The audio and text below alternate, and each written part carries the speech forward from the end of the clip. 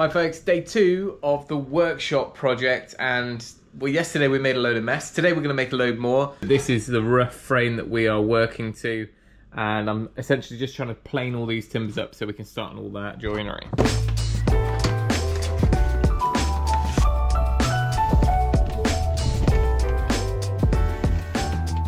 So if you caught yesterday's video, you'll know that we managed to get all of these 12 posts planed up.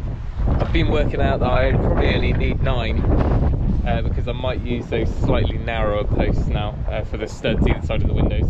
Um, we've also planed up our long beams that are going the length of the building, or are these the, no, they're the, the short sides of the building, five meters. Uh, but what I really need is the sills because that's going to be where I'm going to be starting with our first mortises so let's get this planed up.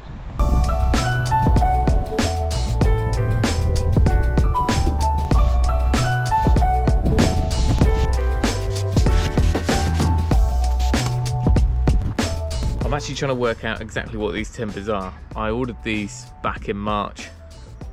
Of course, last year didn't quite go to plan.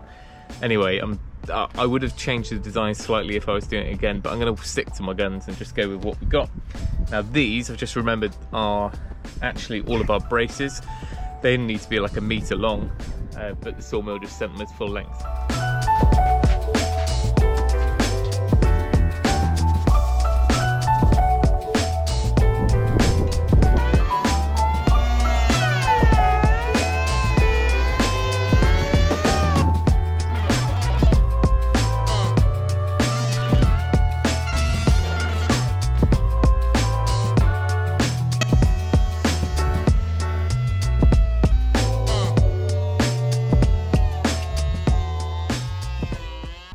Proving a real struggle. It's been raining all night and the planer does clog up fairly easily with wet timber as you'd expect.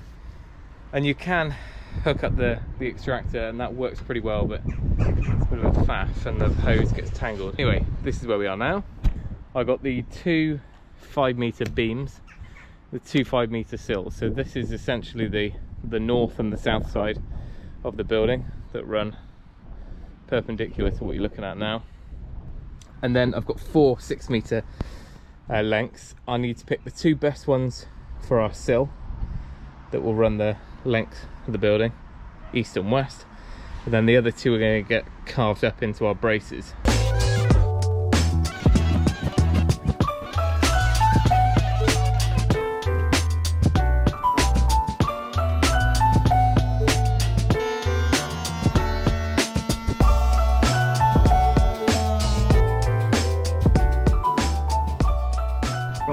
Figured that these two uh, here are straighter, so I'm going to keep those for our sills.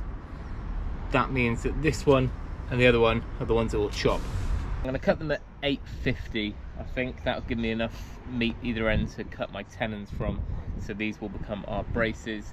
Uh, I'm just going to measure up to make sure I get the most out of these lengths so we don't end up with some annoying wastage.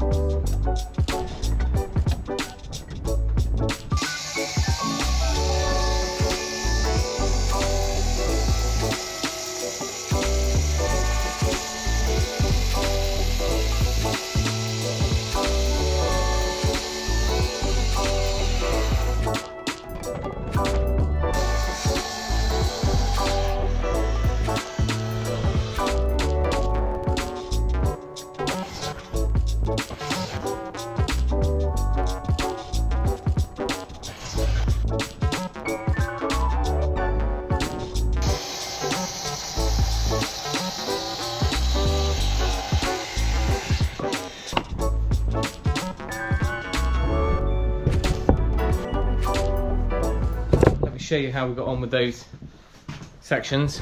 These are the braces. I really don't know how I, how many I need. I, I originally just accounted for a pair on each corner. So that's eight. I might just do an extra couple here. More for aesthetics than anything. They are ready for indoor joinery. They're much more manageable. But let's crack on whilst the weather's good and get our four, five, four, five remaining pieces planed up.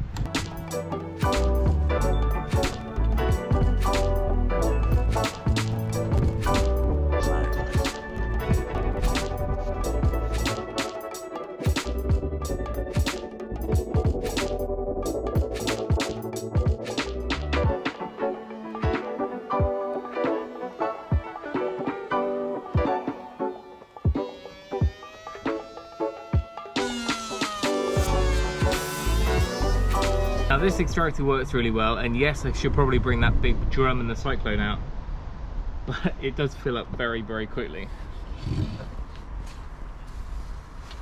But I'm definitely wishing I started using this earlier on today because I was unpicking and jamming that plane all the time and this is just much cleaner and it's actually leaving a much smoother finish.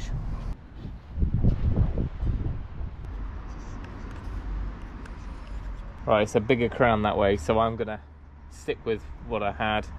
This will become our face for facing out. Cladding will go on that. No, sorry, this is the east wall. Shouldn't have drawn anything, should I? So that is the crown. So that will become the top of the beam. This relatively straight edge will become the face. I don't know the symbols. We'll go for a fish. And we'll reference everything off this outside face. As far as timber framing goes, that's a pretty straight beam.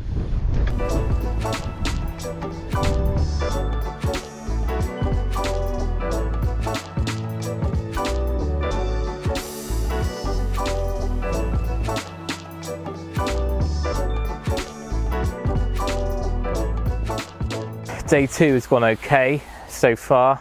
Um, nearly everything, apart from our big ridge beam, everything has been planed with the electric planer.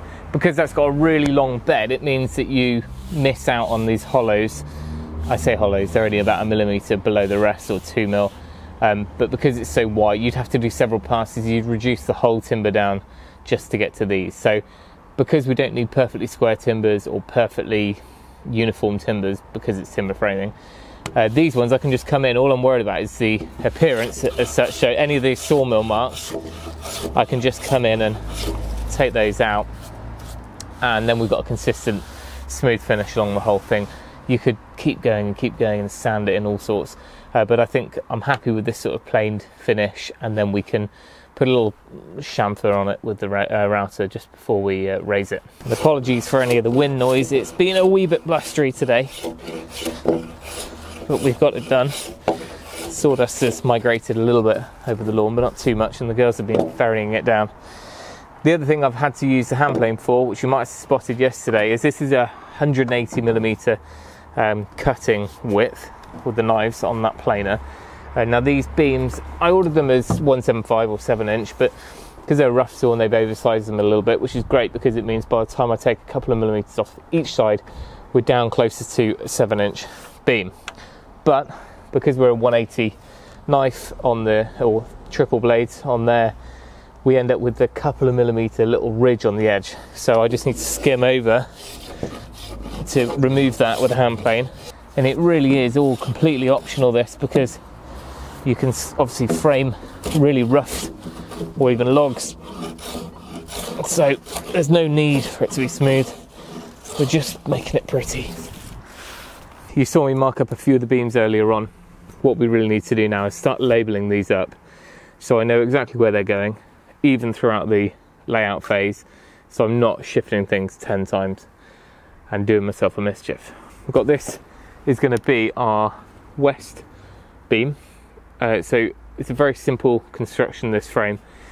We're going to use these 7x7s for all of our posts and our beam along the top. And the bottom just to reduce timber because it would be unnecessary I'm just going to use a 7 by 4 so the sill will be a little bit less. Because I'm using an insulated panel system on the outside I want that to be fairly straight as well because otherwise any deviation will telegraph through to our cladding. I'm going to make this the outside which will become like our reference face because we want all of the outside of the posts and the beams to be flush for the panels to sit on. So we'll um, make that the outside and then this will become the top. So we can make sure that that's kind of half decent so that in appearance inside it's going to be nice. A little bit of variation between the heartwood and the sapwood and you know pinkies and whiteys and grey. I'm pretty sure it will mellow out. It's very wet wood at the moment.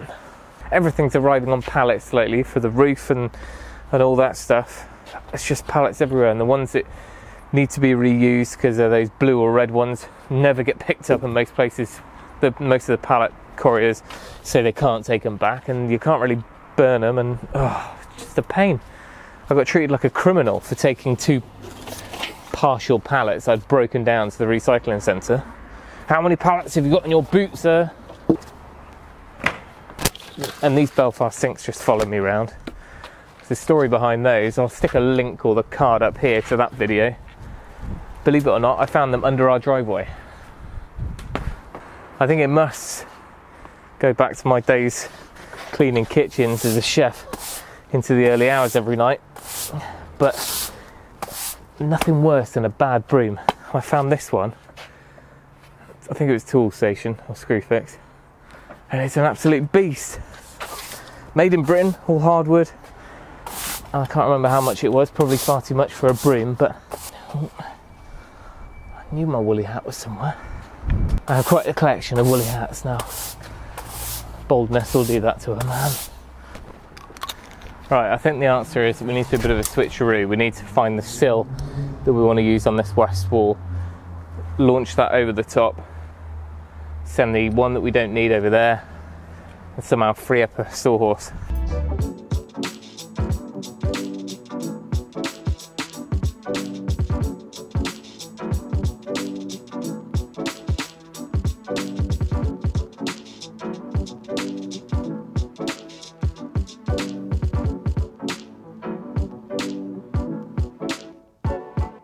In the true spirit of make it up as I go along, what I'm actually going to do is start with our sills and I'm going to work on both the east and the west sills at the same time so I can run the mortiser along, along, change the setting, along, along. I think that's probably okay rather than working on one at a time. And then I can do the cleanup on them one at a time. Well, I told you it might be more of the same as what we had yesterday, and I'm afraid that's kind of what it was. But at least we're at a point now where we can clearly move on to the next stage. If it's an absolute washout tomorrow, then I will switch to doing the braces because I can manage those in the workshop. Um, otherwise, we'll grab the chain mortiser out the cellar, bring it up, and we'll start hogging out all these mortises. And there's an awful lot of them. A lot of this project is going to just be cut, repeat, cut, repeat, and um, hopefully it'll all slot together. Um, and hopefully it won't become tedious to watch. In tomorrow's video, I will hopefully get around to giving you a bit more of a, an idea of the design and the layout of the building. Uh, it's a fairly simple design, like I might have said, um, but it's always handy to give you guys an overview of what I'm actually building before it goes up. Partially because I'm making it up as I go along, and uh, it's always good for people to chime in and give their opinion on things. So there's always room for change. At least there will be for a week or two, and that's another benefit of doing some more regular videos, so that we can um, we can tweak things as we go.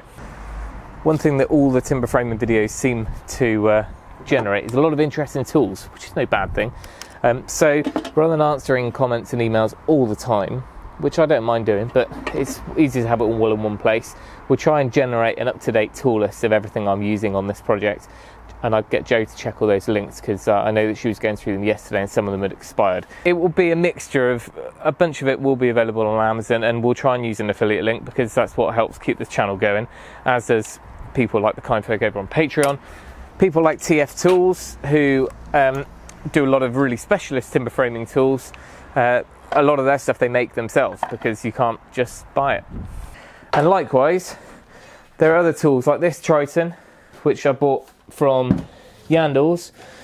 I'll link to their stuff because they always stock uh, Triton gear and also replacement blades and things like that.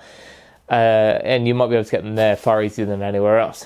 And you might also notice a whole bunch of render showed up the other day. Um, I've just opted to go for a Weber sort of monocouche on the back wall of this garage. Um, I was just overthinking it, and I'm certainly not going to do it in stonework. So we might take a pause from the timber framing as soon as we get a nice-ish day, and we'll get that slapped up on the wall.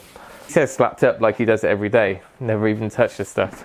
But then again, I'd never been on a roof before I took the roof off our house a few months back, and uh, that turned out alright. I'm gonna go make some plans, get yesterday's video all edited up and ready for you guys and get the debrief on how homeschooling went. I'm kind of thinking that I got the better deal out of, the, out of the two options here. So uh, thank you, Jo. All right, any thoughts on today's video? Do stick them down below. It'd be great to hear your feedback. But thank you for watching. Remember, if you can, do it yourself. And we'll see you tomorrow.